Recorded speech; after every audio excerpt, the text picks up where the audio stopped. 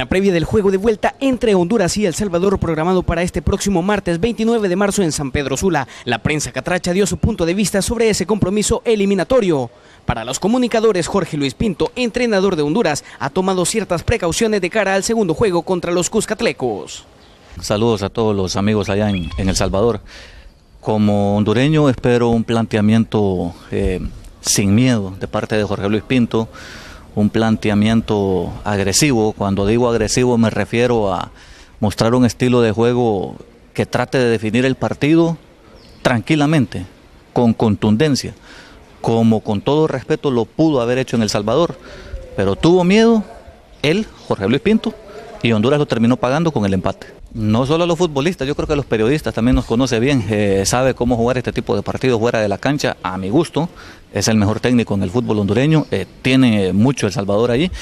Y más allá de que El Salvador también tenga en este momento jugadores con, con, calidad, con buen nivel en el extranjero, creo que al tener a Ramón Maradiaga sí se acrecentan un poquito las posibilidades del Salvador, que con todo respeto no creo que sean tan grandes. Después del, de ese frío empate ¿no? que, que nos sacó El Salvador allá en Cucatlán, yo creo que las expectativas están en que hoy sí podamos ver a Carlos Costli de entrada, la visión lo pidió y considero que el profesor Pinto así lo va a hacer porque ya lo vimos en los entrenos practicando con el equipo titular y lo que preocupa un poco es la, la, carga que tiene Dinar que podría ser baja, pero creo que estas son, son tácticas de Pinto, ¿no? Él va a jugar Nájar y se espera que, que la selección salga arrolladora a proponer porque así como lo hizo El Salvador propuso, pero sin defenderse tanto ya, si, si se lo va, va logrando el marcador. Se dio cuenta que los salvadoreños tienen un fútbol rápido, y técnico. Entonces eso le hizo dañísimo a Honduras. Si ustedes vieron los últimos cinco minutos del partido, El Salvador fue amo y señor, metió a Honduras atrás a puro, a puro toque, a puro toque al estilo Primi. ¿no? Primi es un,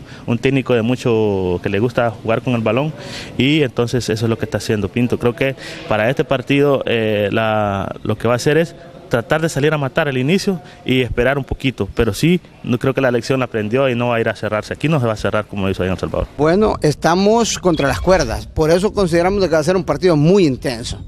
Sabiendo, conociendo la idiosincrasia de Ramón Maradiaga, lo que él propone, lo que él busca en sus equipos, sabemos de que va a jugar de la misma forma que lo hizo en El Salvador, queriendo tener la pelota, corriendo por los costados, dándole velocidad, verticalidad a su juego, porque le gusta proponer el ataque y una selección hondureña que debe de tirar toda la carne al asador, como decimos nosotros por acá, porque eh, ya está, está prácticamente, ya está eh, con las cruces en la espalda Jorge Luis Pinto de no sacar un buen resultado. Si aquí no gana, ya esto aquí se nos termina, aquí ya, le hacemos el velorio a la, a la clasificación y a pensar en que aquí hasta el verano se nos termina, pues. Así que eh, la propuesta es que es un buen partido, mucha entrega, un partido abierto, tienen que haber goles y esperemos que la gente venga. han bajado las entradas al 50% desde antes del empate contra El Salvador. Yo creo que, y no apostábamos, eh, o sea, al menos la prensa sí consideramos ese empate, pero eh, a muchos otros hoy, pues eh, lo que nos queda es ver que despierte también Jorge Luis Pinto y que mejore, incluyendo hasta los cambios, porque en El Salvador consideramos muchos de que parte de ese mal resultado para nosotros fue porque al final no hubo una buena propuesta táctica. Con reportes de Cristian Peñate, informó para la prensa Milton Jaco.